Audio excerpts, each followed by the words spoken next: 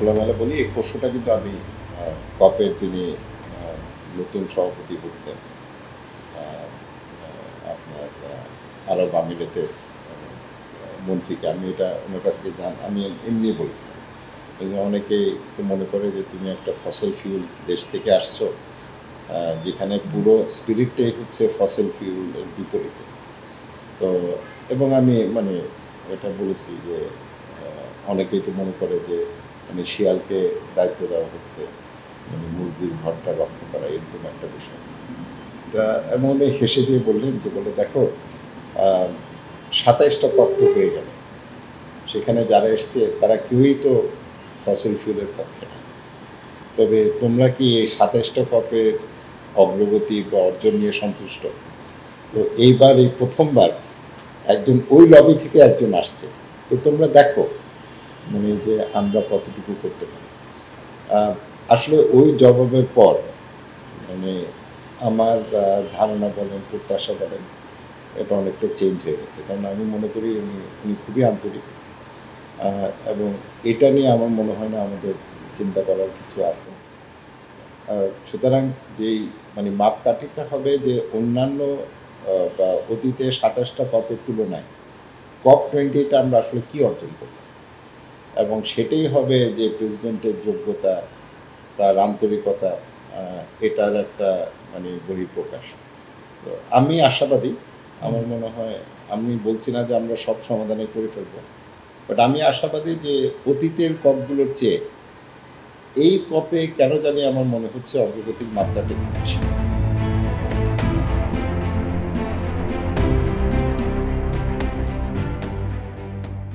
না, একটা হচ্ছে যে বৈশ্বিক পরিস্থিতি, আপনি যে বলছেন টেবিল গরম থাকবে, জাতিসংঘের মহাসচিব যেটা, ওনার কথা যেটা বলেছেন, আমরা কিন্তু এখন গ্লোবাল ওয়ার্মিং থেকে গ্লোবাল বার্নিং মানে একটা হচ্ছে হচ্ছে উষ্ণায়ন, আরেকটা হচ্ছে সব কিছু এখন জ্বলে যাচ্ছে মানে সব কিছুর মধ্যেই আগুন তো এই যে একটা নতুন প্রেক্ষাপট, এটা তো আগে ছিল না অতীতেও কপের এজেন্ডা ছিল এইবারের, গতবার যেমন আমি যেটা দেখেছিলাম যে পাকিস্তানে যে বন্যাটা হয়েছিল, সেটা কিন্তু একটা বড় একটা ইমিডিয়েট ইভেন্ট ছিল। আমাকে ভাবতে হবে যে কপের আগে বা এই দুই কপের মাঝখানে কি কি ঘটনা ঘটবে এখন যেমন জুলাই জুলাই মাসটা, এটা ইতিহাসে সবচেয়ে উষ্ণ মাস। এবং আমি মনে করি যে এটা হচ্ছে আমাদের অলমোস্ট আমি বলব এটা আমাদের শেষ একটা সুযোগ। সুতরাং এইবার যদি আমরা সেই সুযোগটা কাজে না লাগাই তাহলে পরবর্তীতে আমরা যাই করব। একটা কথা আছে না যে be too little too late যেটাই করব সেটা যথেষ্ট হবে না এবং সেটা অনেক দেরি হয়ে যাবে। সুতরাং এইবারেই কিন্তু আমাদের কিছু মৌলিক জায়গায় আমাদেরকে সিদ্ধান্ত নিতে হবে। আমরা শুধু আমাদের লক্ষ্য মাত্রা বললে হবে না। ওয়ান পয়েন্ট ফাইভ এটা আগেও বলা হয়েছে। এখন ওয়ান পয়েন্ট ফাইভ নিশ্চিত করার জন্য বিভিন্ন দেশের যে এনডিসি আছে বা তাদের যে অঙ্গীকার আছে সেটা বর্তমানে কি পর্যায়ে আছে? এবং ওয়ান পয়েন্ট ফাইভে যদি আমি এটাকে তাপমাত্রা বৃদ্ধির বিষয়টা সীমিত রাখতে চাই, তাহলে ওই এনডিসি কত বাড়াতে হবে? এবং এটা কিন্তু হচ্ছে এটা। এবং বাড়ানোরও একটা মেকানিজম থাকতে হবে, যেটা আপনার গ্লোবাল স্টকটেকে হয়তো আরও পরিষ্কার হবে, আমরা যেটা আগামী বছর যেটা হচ্ছে। সুতরাং এটা হচ্ছে একটা অ্যাকশনের জায়গা। কারণ দেখেন, আমরা যতই বলি অ্যাডাপ্টেশন সবচেয়ে ভালো অ্যাডাপ্টেশন হচ্ছে কিন্তু মিটিগেশন কারণ আমি যদি এই মূল জায়গাটায় আমি যদি হাত না দিতে পারি, এখন ধরেন তাপমাত্রা বৃদ্ধি, যেটা গতবার শারমাল শেখে কিন্তু চাপ ছিল যে ওয়ান পয়েন্ট ফাইভে রাখা যাবে না। এটাকে আমরা টু পর্যন্ত যাই বা টু এর উপরে যাই। এবং এটা না রাখার বা মানে আমাদের এই জায়গায় জোর দেওয়ার কারণটা হচ্ছে আইপিসিসি যে রিপোর্ট অ্যাসেসমেন্ট রিপোর্ট সিক্স সেখানে কিন্তু তারা বলছে যদি তাপমাত্রা বৃদ্ধি এক দশমিক পাঁচের ঊর্ধ্বে চলে যায় তাহলে উন্নয়নকে আর টেকসই পর্যায়ে রাখা যাবে। এটা কিন্তু অনেক বিশাল একটা স্টেপ এখন কথা হলো, সব দেশেই তো আইপিসিসি রিপোর্টটা গ্রহণ করে। তো যারা আপনার রিপোর্টটা গ্রহণ করছে, তারা পরবর্তী কপে এসে এই রিপোর্টের যে স্পিরিট বা চেতনা, এটার বিপরীতে তো কোনো অবস্থান নিতে পারে। তাহলে তো এটা আপনার ডাবল স্ট্যান্ডার্ড হয়ে যায়। যে আমাদের এটা কপ প্রক্রিয়া, এটা আপনিও দেখেছেন, যে এখানে কিন্তু কোনো রুলস অফ প্রসিজার নাই। মানে আমাদের যেমন সংসদের কার্যপ্রণালী বিধি, এখানে কোনো বিধি চূড়ান্ত করা নেই। এবং এটা সাতাশ বছর ধরে জুলম। এটা যখন ইউএনএফ ট্রিপল সি আসে, যখন কপ প্রক্রিয়াটা শুরু হয়, তখন বলা হয়েছিল এটা প্রথম কপে এটা চূড়ান্ত করা আজ পর্যন্ত হয়নি। এই কথাটা আমি এই কারণে বলছি, বিধিটা চূড়ান্ত না হওয়ার ফলে, কারণ ওই বিধিতে ছিল যদি সবাই ঐক্যমতে না পৌঁছাতে পারে, ভোটাভুটির মাধ্যমে হবে। তো ঐক্যমত মানিটা কি? ঐক্যমত মানি একশো চুরানব্বইটা দেশের সবাইকে প্রতিটা শব্দের বিষয়ে আমি সেন্টেন্স বাদ দিচ্ছি। প্রতিটা শব্দের বিষয়ে, শব্দ ব্যবহার বিষয়ে একমত হতে হবে। কোথায় দাড়ি হবে, কোথায় কমা হবে, কোথায় সেমিকোলন হবে, একমত হবে। এবং ওটা যদি না হয়, আমাদের কোনো এগ্রিমেন্ট হয় না। আপনারা একমত হবেন কোন জায়গায়? যেখানে কোনো ধরনের অ্যাম্বিশন নাই। যেটা কোনো দেশের জন্য কোনো চ্যালেঞ্জ না। সুতরাং আমি এটা রাজি হলাম। এবং এটা করতে আমরা কি করছি?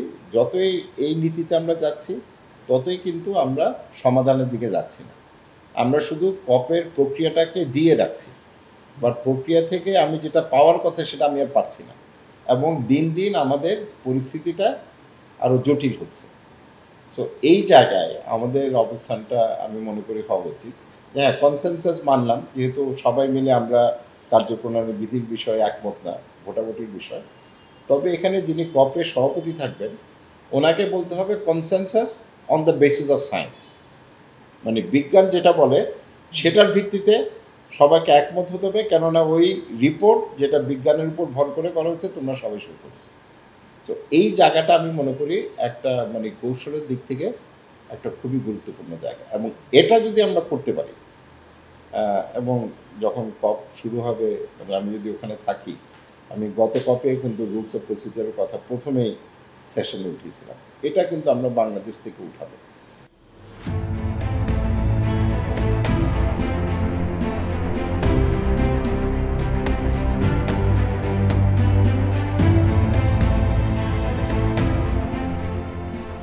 যেহেতু গতবার আমি লিড ছিলাম, তো আপনার অর্থায়নের বিষয়ে আমাদের পজিশন কি?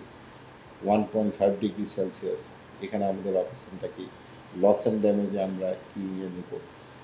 আমি মনে করি একটা বড় জায়গা হচ্ছে ফাইন্যান্সের যেটা আমরা গতবার উঠিয়েছিলাম এবং সেটাকে আমরা বেশ মানে জোরালোভাবে উপস্থাপন করেছি। যে আপনি একশো বিলিয়ন ডলার বললেন ক্লাইমেট ফাইন্যান্স ক্লাইমেট ফাইন্যান্সেরই তো কোনো সংজ্ঞা নেই। কারণ ক্লাইমেট ফাইন্যান্স বলতে আমি কী বুঝি উন্নত দেশ বলছে যে একশো বিলিয়নের মধ্যে তোমাদেরকে আমরা গত বছর বিরাশি বিলিয়ন আমরা দিয়েছি। আবার আপনি যদি অক্সফ্যাম বা অন্য কোনো সংস্থার যদি প্রতিবেদন দেখেন সেটা অ্যাকচুয়ালি আট নয় বিলিয়নের বেশি না। অর্থাৎ এখানে অনেক ডাবল কাউন্টিং তারপর ধরুন যেটা আপনার ওডিএ ওভারসিজ ডেভেলপমেন্ট অ্যাসিস্ট্যান্স সেটাকে এখন ক্লাইমেট ফাইন্যান্স হিসাবে চালিয়ে দিচ্ছে। তো সেটা তো হওয়ার কথা না। কারণ এই যে একশো বিলিয়ন এটা হচ্ছে নতুন এবং এডিশনাল সো আপনি পুরনো ফাইন্যান্সগুলিকে যদি এখন ক্লাইমেট ফাইন্যান্স হিসেবে নিয়ে আসেন যার জন্য আমরা জোর দিচ্ছি যে এই সিদ্ধান্তটা বা সংজ্ঞাটা যদি আমরা চূড়ান্ত না করি, আসলে এটা নিয়ে আলোচনায় আমরা অগ্রসর হতে পারব না। এক, দুই নম্বর হচ্ছে দুই হাজার পঁচিশ সালের পর আমরা বলছি যে একটা new quantified goal on climate finance কারণ এই যে একশো বিলিয়ন আপনি দেখেন শুধু বাংলাদেশের কথা ভাবেন, আমাদের অ্যাডাপ্টেশনের জন্য প্রতি বছর সাড়ে আট বিলিয়ন থেকে নয় বিলিয়ন ডলার দরকার হচ্ছে। একটা দেশে জন্য সো এই যে একশো বিলিয়ন আর আমি যদি ধরি পৃথিবীর ধরেন সত্তরটা দেশ আছে, যারা এখন অ্যাডাপ্টেশন বড়োভাবে করতে হচ্ছে। তাহলে এখানেই তো আপনার সাতশো বিলিয়ন বা এক ট্রিলিয়ন হয়ে যাচ্ছে। আমি লস অ্যান্ড ড্যামেজ বাদ দিলাম। অন্যান্য কিছু just transition energy transition so অ্যাডাপ্টেশনেই তো আপনি ট্রিলিয়ন ডলারের কথা বলছেন। সেই তুলনায় একশো বিলিয়ন তো কিছুই না। আরেকটা যে জায়গায় ঘাটতি আছে যে তারা বলেছিল এটা হবে পাবলিক ফান্ডস এবং প্রাইভেট ফান্ডস এই দুটো আমরা ডিফারেন্সিয়েট করেছি। কারণ সেটা পাবলিক ফান্ড হতে হবে মানে সরকারি অর্থায়ন হতে হবে। এখন যদি বলে প্রাইভেট সেক্টর তাহলে এখন অনেক দেশে যে ঋণের যে বোঝা আছে যে ডেট বার্ডেন যেটা বলি এটা তো আরও বেড়ে যাবে তবে একটা পাবলিক ফান্ড হওয়া উচিত। আর মিটিগেশন এবং অ্যাডাপ্টেশনের মধ্যে এটা ফিফটি ফিফটি হওয়া উচিত। অর্থাৎ অর্ধেক আসবে ফর অ্যাডাপ্টেশন অর্ধেক মিটিগেশন সেটাও কিন্তু হয় না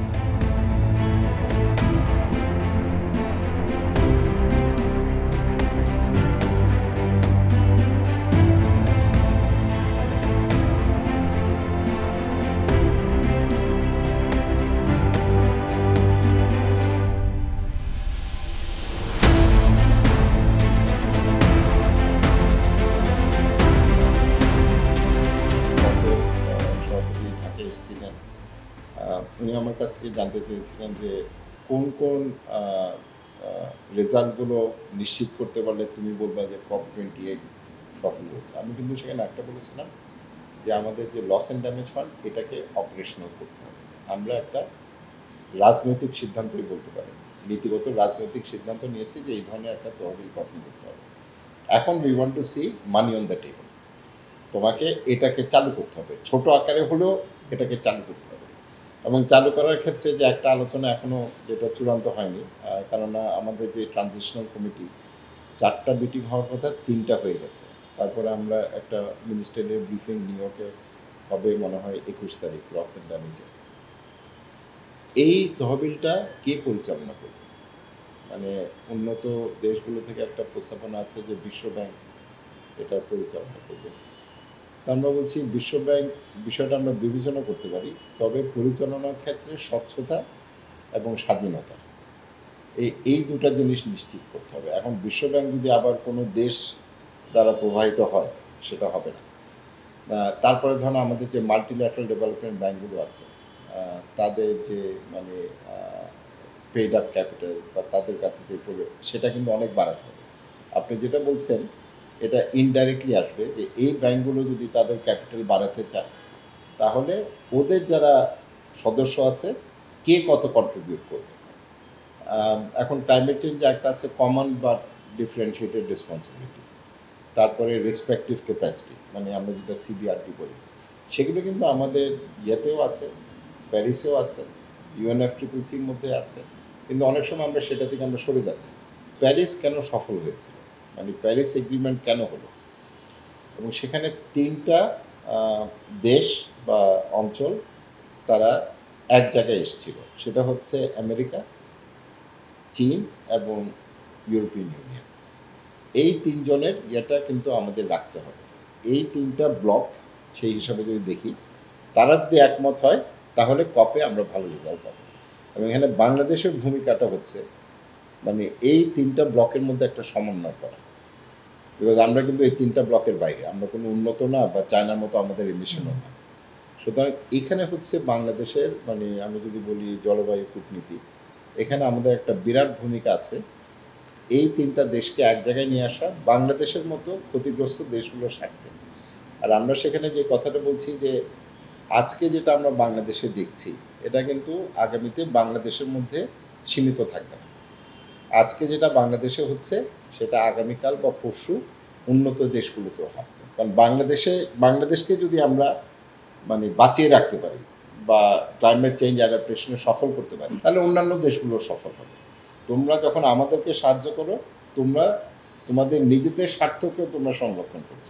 কারণ এটা তো একটা গ্লোবাল ভিলেজ সো এই কথাটা কিন্তু আমরা আমি মনে করি এটা আমরা বুঝাতে পেরেছি। এবং এইভাবে যদি আমরা অ্যাপ্রোচ করি আমি শুধু বলি যে, না, তুমি আমাকে সাহায্য করো। কে আসবে? সাহায্যের মধ্যে কিন্তু একটা সেলফ ইন্টারেস্টের বিষয় আছে। যখন সে দেখবে ওই সহযোগিতা, ওই সাহায্য, ওই সঙ্গতি তাদের কাজে আসবে, তখন কিন্তু তারা অনেক বেশি এগিয়ে আসবে।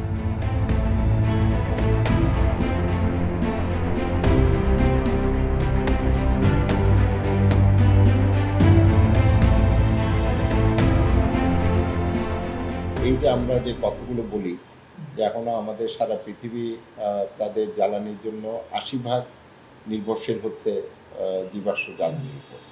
এই বিষয়গুলো আমরা নিয়ে আসব। আমরা একটা যেটা বড় একটা অগ্রগতি আমাদের জাতিসংঘের মহাসচিব কিন্তু একটা কথা বলেছেন, যেটা আমাদের সুপারিশে ছিল, যে দুই সালের মধ্যে উন্নত দেশগুলো ফসল ফিউল থেকে বেরিয়ে আসছে। এবং আমরা বলছি যে নতুন কোনো ফসল ফিউলে বিনিয়োগ হতে পারবে না। এটাও কিন্তু জাতিসংঘ গ্রহণ করছে। সো এটা তো আমাদের জন্য অনেক বড় একটা অর্জন এবং আমাদের যে পার্লামেন্টেরিয়ান আপনি তো সেখানে ছিলেন যে parliamentarians for fossil fuel free future সেখানে কিন্তু আমেরিকার সেনেটর অ্যাড মার্কি সেও এসে কিন্তু সঙ্গতি জানিয়েছে। সুতরাং এটা কিন্তু শুধু আমাদের মানে আমাদের সাউথের একটা বিষয় না গ্লোবাল সাউথের বিষয় না নর্থের থেকেও কিন্তু আমরা সহযোগিতা পাচ্ছি। এবং এইবার কানাডারও একজন সেনেটর ওখানে আসছে।